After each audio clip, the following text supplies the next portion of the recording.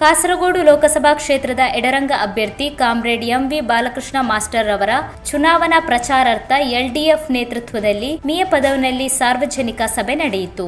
ಸಭೆಯ ಅಧ್ಯಕ್ಷತೆಯನ್ನು ಕಾಮ್ರೇಡ್ ಗಂಗಾಧರ ಕೊಡ್ಡೆ ವಹಿಸಿದ್ದರು. ಮಾಜಿ ಕಂದಾಯ ಸಚಿವ, ಸಿಪಿಐ ರಾಜ್ಯ ಸಹ ಕಾರ್ಯದರ್ಶಿ ಕಾಮ್ರೇಡ್ ಇ ಚಂದ್ರಶೇಖರನ್ ಉದ್ಘಾಟಿಸಿ ಮಾತನಾಡಿದರು. ನೇತಾರರಾದ comrade K R Jayananda, Raghava Cheral, Ramakrishna Kadambar Abdulla Abdul Rasak Chippar ಮೊದಲಾದವರು ಮಾತನಾಡಿದರು.